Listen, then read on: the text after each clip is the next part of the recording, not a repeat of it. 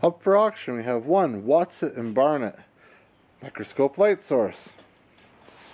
So, light source measures four and a half inches.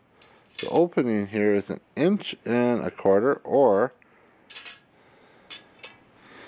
32 millimeters.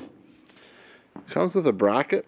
As you can see, it moves all different ways for mounting. And you can actually move this also. So you can temper the light source. Okay, the light source itself. Let's see if I can get this out for you.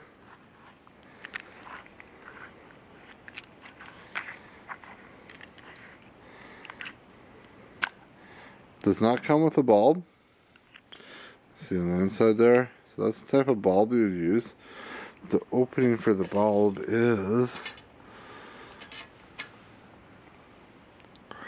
15, 16 millimeters. So there you go. That's what that goes to.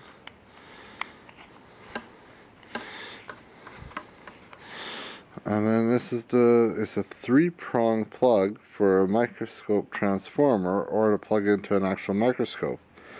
So there you go, three prong, plugs in.